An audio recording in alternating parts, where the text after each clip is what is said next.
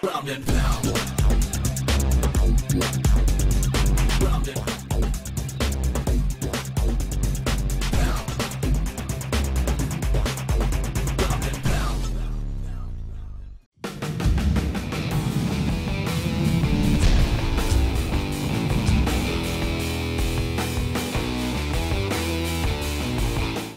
Elias Stefanescu für GMP1 TV. Wir sind gerade im wunderschönen Österreich und an meiner Seite ein Mann, der sich hier nicht nur zu Hause fühlt, sondern auch ordentlich bekannt ist als Cutman Rolandus. Roland Eicher, ähm, ich grüße dich. Äh, Wir freuen uns mal wieder hier zu sein für Inferno 2 diesmal und haben die Möglichkeit natürlich ergriffen, mit dir zu sprechen. Ähm, Wie gerade schon erwähnt, du bist ja einer der bekanntesten Cutmans hier in Österreich.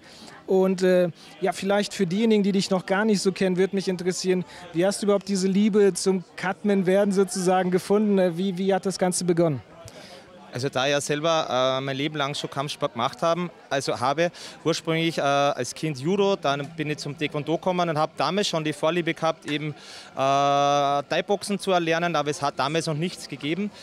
Und bin dann zum Thai-Boxen gekommen und da habe ich schon ein bisschen mitgeholfen, aber Cutman natürlich war ich damals noch nicht, wusste auch nicht genau die Bedeutung dafür. Ich habe halt einfach in der Ringecke ein bisschen geholfen. Und dann habe ich äh, eben durch einen Veranstalter aus Salzburg ähm, erfahren, äh, dass ein Kurs stattfindet von Michael Kattmann-Liberty Schmidt, sehr bekannt in Deutschland. Und habe diesen Kurs auch besucht und dann habe ich Blut geleckt und äh, der Veranstalter aus Salzburg hat damals schon gewusst, wenn er mich da reinbringt in den Kurs, dann äh, werde ich mich sehr damit mit der Materie auseinandersetzen und äh, das äh, richtig machen. Ja, richtig machen. Seitdem läuft es ja, denke ich mal, ziemlich gut. Auf fast jedem Event hier in Deutschland, Österreich sieht man dich jedenfalls sehr, sehr oft. Ähm, wie hast du es erlebt über die Jahre? Wie ist das Cutman-Business? Also ist es äh, professioneller geworden oder gibt es immer noch ein paar schwarze Schafe? Die schwarzen Schafe wird es immer geben. Äh, die Bedeutung eines Cutman ist natürlich ähm, um einiges äh, größer geworden, Gott sei Dank. Die Veranstalter entwickeln immer mehr das Bewusstsein, äh, dass Cutman ähm, sehr wichtig ist, um auch die, die Qualität einer Veranstaltung zu heben und auch äh, den, den Sport einfach sauberer zu machen. Also wenn jetzt vielleicht vergleichen würdest, verschiedene Kampfsportarten, nehmen wir jetzt Boxen, nehmen wir Thai, Kickboxen, MMA, ähm, würdest du sagen, der gleiche Cutman könnte theoretisch alles machen? Oder muss man äh, spezifisch schauen, dass man sich die richtigen aussucht, damit mit den Kämpfern äh, alles gut geht am Ende? Also es gibt natürlich sicher auch Cutmen, die vom Boxen kommen, die auch äh, vielleicht gar nicht die Liebe haben, einen MMA-Kampf ähm, zu betreuen oder einen Muay Thai-Kampf zu betreuen. Aber ich sage mal, in dieser Zeit oder bei mir, wie es so ist, äh, ich interessiere mich für alle Dinge, ob Boxen, Muay Thai oder Grappling oder auf Veranstaltungen, wo etwas passieren kann, bin ich einfach gern und ich schaue mir gern alles an. Und ähm, natürlich komme ich aus dem Thai-Boxen. Die Vorliebe ist immer noch fürs Thai-Boxen da. Und für mich ist es der hardest Sport, äh, Sport on Earth, aber äh, MMA natürlich sehr toll. Ähm, der meistwachsende Sport der, der Welt zurzeit. Ja. Begeistert nicht nur Männer, sondern auch Frauen. Und ähm, ja, äh, kurzer Sinn. Äh, ich bin bei jedem Event dabei, egal ob Boxen, Muay Thai oder äh, Grappling oder MMA, ist es egal. Es ist alles sehr interessant und jeder Sportler hat es verdient, dass man ihn einfach optimal und sauber betreut. Ja, zum Thema sauber betreuen, du bildest auch aus. Äh, wie wichtig ist das, dass man eben eine professionelle Ausbildung bekommt als Cutman? Man sieht ja auf vielen Veranstaltungen, da wird zum Teil immer ausgeholfen und man ist sich nicht so sicher. Also wir beobachten das manchmal von außen. Ist das jetzt wirklich ein Cutman oder ist das nur jemand, der gerade aushilft? Das kann natürlich oftmals gefährlich enden. Ja, ich sage nicht nur gerade aushilft, sondern die Leute trauen sich oft mehr zu, als wie sie selber sich eingestehen.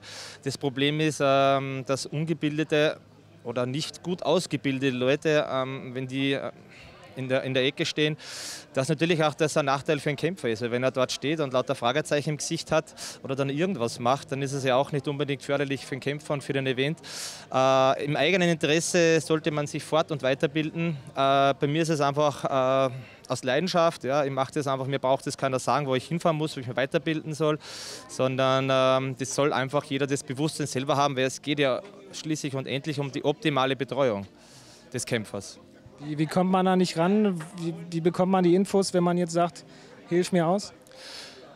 Auf Facebook auf alle Fälle, äh, mich anschreiben, steht sogar die Telefonnummer drauf. Also ich habe auch regen Kontakt ständig mit äh, Leuten, die, die das interessiert, die Blut gelegt haben, die das eben äh, beobachtet haben vom Facebook oder vom Fernsehen oder von eurem GMP One äh, Bericht, ja, die dann ah, das könnte was für mich sein. Da muss man halt dann wirklich schauen, ähm, inwieweit der das dann wirklich durchzieht und äh, ist nicht nur von außen. Es gibt natürlich auch sehr viele, äh, wie soll ich sagen, äh, Dinge, die man sich selber erlernen muss und kostet auch ein bisschen Geld. Ja. Also Business, als Business kann es, es leider noch nicht äh, äh, behaupten, dass es ein Business ist. Ja. Ähm, du hast ja auch einen guten Blick hinter die Kulissen, jetzt nicht nur im Cutman-Bereich, sondern eben auch bei Kampfsportveranstaltungen. Äh, wie, wie ist deine Meinung? Also hält man zusammen im Sport oder gibt es immer noch, oder, oder bei den Cutmen, oder gibt es immer noch dieses, äh, ich mache jetzt mein Ding und ist mir egal, was die anderen machen? Ja, Was, was wäre vielleicht optimal? Naja, es, ich sage immer, es ist ein, ein Miteinander besser als wie ein Gegeneinander, aber leider ist es alles andere wie ein Miteinander. Es wird halt schon oft äh, sehr viel noch gegeneinander gearbeitet. Auch ähm, äh, Neid äh, ist ein großes Thema, ja.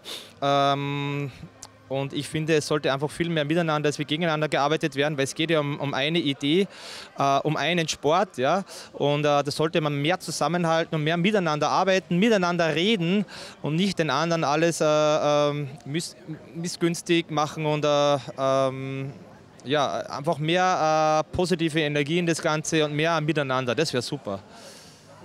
Hast du irgendeine Lösung? Kann, muss man anders an die Leute rangehen oder was kann man da machen? Ja, ich würde einfach sagen, mehr kommunizieren und äh, wie Sie sagen, ähm, ich bin ja selber ähm, Therapeut, ja, Selbstständiger und ich sehe, äh, für mich gibt es keine Konkurrenz, es gibt Mitbewerber. Ja? Und äh, in meinem Gym ist es ja auch so, dass ich äh, Gasttrainer habe und ich bin froh, dass die kommen. Ja. Also ähm, ich schätze mich glücklich, dass äh, sehr viele Trainer wie Dragan Pesic, Lemmy Krusic, Nebel Sebay etc. etc., wenn ich wen vergesse, bitte nicht beleidigt sein, dass die zu mir kommen und meinen Jungs was beibringen. Die können ja nicht nur von mir, sondern auch von allen anderen lernen. Und je größer das Repertoire an, an Wissen, an Techniken ist, desto besser für den Kämpfer. Und ich muss ja äh, für den Kämpfer denken und nicht ständig auf einen Ego-Trick oder irgendein scheiß Macho-Denken haben. Das wäre wichtig. Eigentlich ein perfektes Schlusswort, aber eine Frage habe ich trotzdem noch. Jacob Stitch Duran, äh, wohl der bekannteste Cutman weltweit, ähm, ist ja inzwischen guter Freund von dir geworden, wie du uns äh, des Öfteren berichtet hast. Und ähm, ja, vielleicht klär uns ein bisschen auf, wie es dazu kam und ähm, lass uns in die Zukunft blicken. Du hast mir gerade schon verraten, bald ist er wieder da und äh, ja, gib uns einen Lichtblick. Ja, Jacob und ich ähm, äh, ja, verbinden eine ganz besondere Freundschaft. Wir schreiben uns fast täglich, kann man jetzt nicht sagen, aber sehr oft, ja, in der Woche sicher ein paar Mal, äh, weil wir uns auch austauschen und äh, natürlich ich meine, meine, mein Equipment, natürlich, äh, ich arbeite nur mit dem besten Equipment, UFC-Standard, das heißt Firma Title etc. aus Amerika und die guten Sachen kann man eben leider nur aus Amerika bekommen und da ist mir der Jacob auch behilflich. Kennengelernt haben wir uns, wie du weißt, äh, weil du unser T-Shirt trägst, auf der Handwrapping Championships 2014, organisiert von äh, Michael Kappmann-Liberty Schmidt, der das Ganze initiiert hat und der den Jacob damals eingeladen hat. In dieser Zeit haben wir circa in einer Woche, das hört sich jetzt viel an, äh, circa 120 Stunden verbracht, weil wir sind erst immer ähm, wir sind aufgestanden um 5 Uhr und äh, sind heimgekommen meistens um zwischen 23 und 1 Uhr früh. Also wir haben äh, fast einen 20-Stunden-Tag gehabt immer und zusammen äh, 20 Stunden verbracht am Tag und natürlich auch sehr viel Zeit gehabt zu sprechen und zum Auszutauschen. Und so ist die Freundschaft, hat die angefangen. Uh, und dann ist es weitergegangen, geschrieben und so weiter. Dann habe ich ihn eingeladen nach Salzburg, den Jacob. Und ähm, hat ihn sehr gefallen und sehr beeindruckt, äh, Österreich bzw. Salzburg.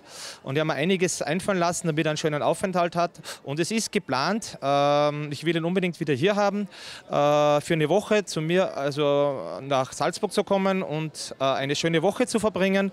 Und er ist natürlich bei einem Event dabei das natürlich noch nicht verraten wird, das nur ein bisschen ein Secret ist, aber definitiv werden wir auch wieder zusammen im Cage stehen. Anfang äh, 2017. Das hört sich gut an, dann blicken wir da jetzt schon mit Spannung drauf. Du hältst uns dann auf dem Laufenden. Und ähm, ja, ansonsten vielen, vielen Dank für diese Einblicke und nochmal so die Sicht hinter behind the curtain sozusagen, wie der Amerikaner sagen würde. Ähm, ja, viel Spaß dir bei Inferno 2, dort sehen wir uns. Und äh, ja, bis dahin, pass auf dich auf. Danke fürs Interview. Ich danke euch und äh, ihr werdet natürlich sofort informiert, sobald ich nähere Informationen habe, äh, wann Jacob kommt und ihr seid natürlich dann auch wieder live dabei. Und das erste, äh, die Message bekommt ihr. Vielen Dank. Danke, Elias.